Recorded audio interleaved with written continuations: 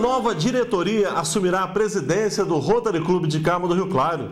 A cerimônia de posse está marcada para acontecer nesta quinta-feira, dia 2, na sede do clube que fica à rua Bias Fortes 362 no centro.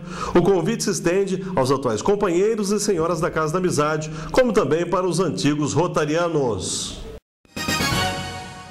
O SEC e EC esta semana estão com uma programação especial com várias atividades em comemoração dos 20 anos de ensino em Cabo do Rio Claro. Nesta segunda-feira, na reunião da Câmara, alunos receberam placa de honra ao mérito.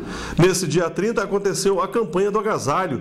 No dia 1 aniversário da escola, haverá carreata às 18 horas e a apresentação de poesias e das músicas vencedoras do Festival de Inglês e Espanhol na Praça da Bandeira. Dia 3, festa junina no Centro de Eventos Sagrada Família, às 19 horas. E finalizando no dia 4, dia de cooperar com o Cicobi Credit Carmo na Praça de Esportes com inúmeras atividades. Para comemorar uma data especial, 25 anos de trabalhos em Cabo do Rio Claro, a Paica Militana está preparando um grande festão esse ano.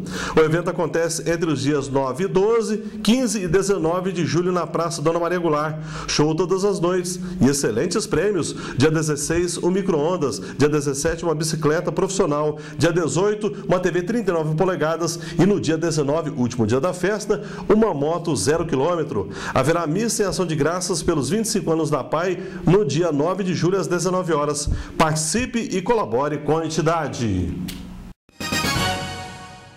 Balanço divulgado nesta segunda-feira pelo Ministério da Saúde mostra que a campanha de vacinação contra a gripe imunizou este ano 41,9 milhões de pessoas, o que equivale a 84,3% do público-alvo. O objetivo era vacinar pelo menos 80% das crianças com mais de seis meses e menos de cinco anos, idosos, trabalhadores da saúde, povos indígenas, gestantes, mulheres que tiveram filhos há no máximo 45 dias, presos, funcionários do sistema prisional e pessoas pessoas com algumas doenças crônicas.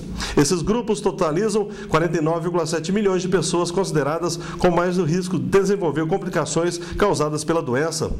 Dez estados não atingiram a meta nacional: Acre, Roraima, Piauí, Ceará, Rio Grande do Norte, Pernambuco, Sergipe, Bahia, São Paulo e Mato Grosso vacinaram mais de 70% do público-alvo, mas não chegaram ao objetivo.